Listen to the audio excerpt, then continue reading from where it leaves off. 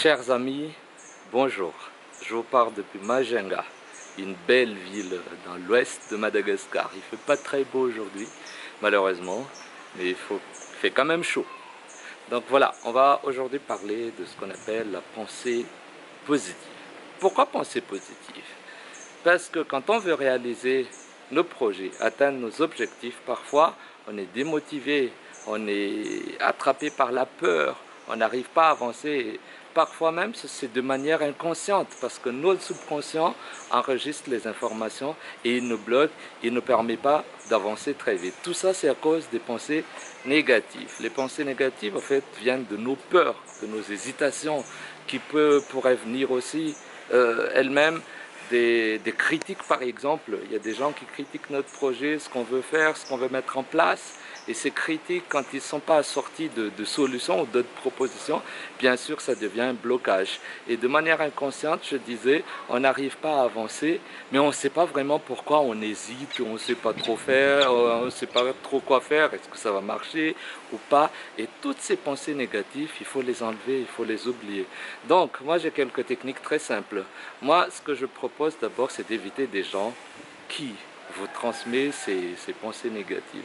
Ça ne veut pas dire qu'on les coupe les ponts, mais ça dépend de ce que vous faites. C'est-à-dire essayer de gérer la relation avec eux. Je vous donne euh, un exemple. Mon père. Mon père, par exemple, quand je lui parle des, projets d'investissement, il a toujours des critiques sans pour autant avoir des, des propositions de solutions. Moi, qu'est-ce que je fais? J'évite de parler de projets d'investissement avec lui. Bien sûr, ça reste mon père, je l'aime. Et on parle de tas de choses, mais en tout ce qui concerne mes projets d'investissement, je ne lui en parle pas. Donc ça, on laisse de côté. Maintenant, comment développer des pensées positives?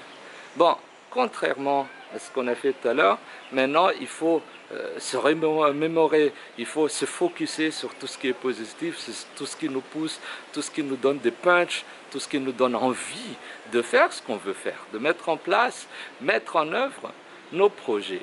Donc, pour ça, au fait, moi, ce que je propose dans un premier temps, c'est développer, essayer de voir au jour le jour, essayer d'identifier les pensées euh, positives de la journée, essayer de les noter, et bien sûr, on s'entraîne, on c'est comme le muscle, fait, la pensée.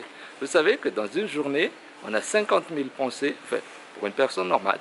Donc, sur les 50 000 pensées, il y a des positives et des négatives. On essaie de développer tout ce qui est positif dedans, et c'est pour ça que je disais, ça paraît être dur au début, quand la fin de la journée arrive, on est là, ah, qu'est-ce que j'ai fait de bien aujourd'hui?